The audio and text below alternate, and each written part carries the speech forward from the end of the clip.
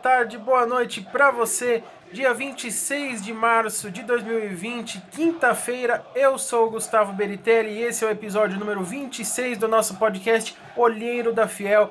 Hoje em quarentena, pois é, dentro de casa por conta do coronavírus, mas trazendo aqui o seu entretenimento e a nossa boa resenha do Papo Reto. E já que nós estamos falando da quarentena, o tema de hoje é sobre ela mesma. Coronavírus, quarentena do Corinthians, bom ou ruim para o time? Além disso, tem as nossas enquetes e muito mais. Tudo isso sempre numa dose de muita informação e corintianismo. E com as novidades de hoje, Fiel, como sempre digo, nós estamos no YouTube e no Spotify com o nosso podcast. E agora nós também estamos presentes no iTunes, no Deezer e na maioria dos players de podcast pela internet. Tudo isso para você ter a comodidade de nos ouvir no seu site ou aplicativo favorito. Então, se você ainda não seguiu a gente ou não se inscreveu no nosso canal do YouTube, não perca tempo. Procure-nos lá, sempre Olheiro da Fiel. Nos siga e inscreva-se para não perder nada do Coringão. Olheiro da Fiel, o podcast mais corintiano do mundo. A pauta de hoje traz a seguinte pergunta bastante pertinente, Fiel.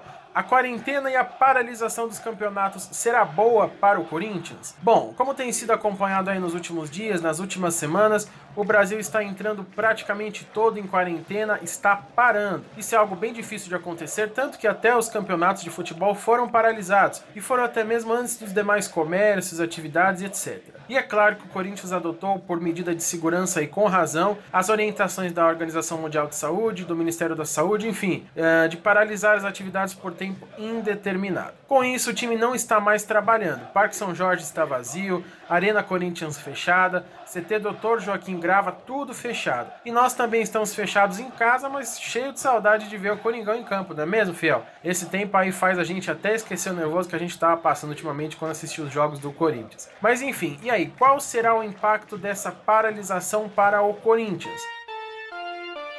Bom, entre vários pontos que nós podemos levantar, eu vou trazer três pontos principais. O primeiro é negativo, afinal, sem jogar por tempo indeterminado, o time não tem renda de bilheteria e isso é prejudicial aos cofres do Corinthians. No último jogo liberado pela Federação Paulista de Futebol no Paulistão contra o Ituano em Itaquera, o time jogou com os portões fechados e já teve um prejuízo de mais de 77 mil reais como nós trouxemos aqui no episódio 24 do podcast, devido aos custos que obviamente não foram cobertos pela bilheteria porque não existiu bilheteria. Então o time pode e deve ser prejudicado nesse aspecto. É claro que se os jogos voltarem, se os campeonatos voltarem de fato, é, por mais que seja numa agenda mais apertada, o time retomar todas as partidas, a renda vai estabilizar e volta tudo ao normal. Mas como existe uma possibilidade não só de suspensão, como de cancelamento de alguns jogos e até mesmo de campeonatos, o negócio pode ficar ainda mais feio para o timão.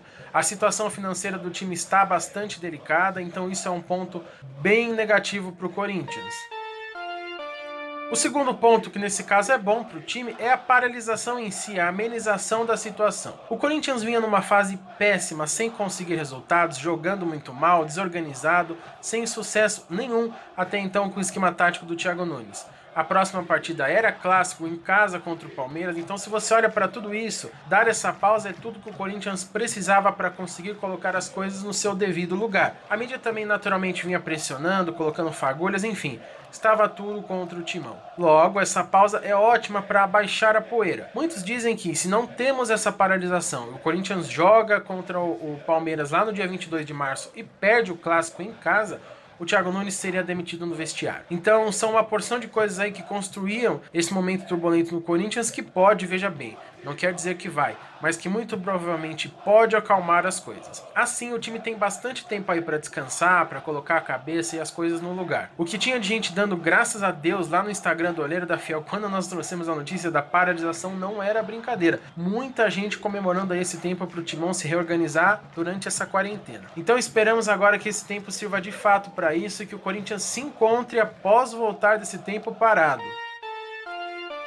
E o último ponto que nós levantamos, Fel, que na verdade é o contraponto da vantagem do Corinthians desse tempo parado, é justamente a falta de treino, a falta de entrosamento, de jogos, de ritmo, enfim, a ausência do timão em campo. É fato que o Corinthians vinha muito mal, muito desorganizado, Mas os jogadores, a comissão técnica, todo mundo está em quarentena em casa. Isso quer dizer que, quando as atividades puderem ser retomadas, os trabalhos do time ou propriamente os jogos, né? É provável que a gente não tenha tanto tempo para treinar, para entrosar, para se reorganizar dentro de campo. Fora dos gramados dá para fazer tudo isso. Baixar poeira na mídia, nos corredores do Parque São Jorge, essa parte mais política vai ser bastante beneficiada. Mas eu tenho as minhas dúvidas se pro time, pro futebol, dentro de campo, essa paralisação realmente trará benefícios ao Corinthians. É claro que nós esperamos que sim, mas não se sabe como será. Não se sabe nem se o futebol vai voltar com o Paulista, a Copa do Brasil, Brasileiro, etc. Então não dá para mensurar isso ainda. Mas pro Corinthians dentro de campo, que era o real problema do time até a parada, não era o único, mas o principal, pode não ser eficiente esse tempo aí sem trabalhar. E você, fiel, acha que esse período de quarentena será bom pro Corinthians? Você acha que o Timão vai voltar jogando melhor, igual ou pior quando retomar da quarentena? Será que o Thiago Nunes vai conseguir aproveitar esse tempo, seja como for, para remodelar o Corinthians e colocar as coisas no lugar? Comenta aí, pessoal. Deixa a sua opinião nos comentários. Fala pra gente o que você acha desse tempo de quarentena do Corinthians, se vai ser bom ou ruim pro time.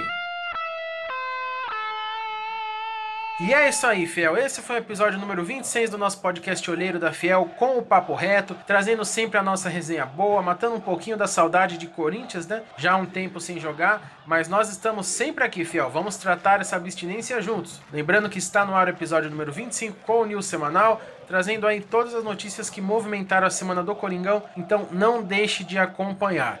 Nós também vamos trazer quadro novo para vocês aí, para a gente conseguir falar bastante de Corinthians durante esses dias sem jogos e poder matar um pouco a nossa saudade de ver o Coringão em campo. E também lembrando que nós estamos em todas as redes sociais, tem Facebook, tem Instagram, tem Twitter, sempre arroba Olheiro da Fiel. E claro, acompanhe a gente no YouTube, no Spotify e nos principais players de podcast por toda a internet. É só pesquisar por Olheiro da Fiel que você certamente nos encontrará. Inscreva-se no nosso canal do YouTube e siga a gente no seu aplicativo preferido de podcast para não perder absolutamente nada do Coringão. Logo, logo tem mais para vocês, fiel. Fiquem ligados e acompanhem tudo do nosso timão. Principais notícias, análise de jogo, pré e pós-partida, nossas resenhas aqui e muito mais. Eu sou o Gustavo Beritelli, olheiro da Fiel. Muito obrigado e vai Corinthians! Vamos, Corinthians! É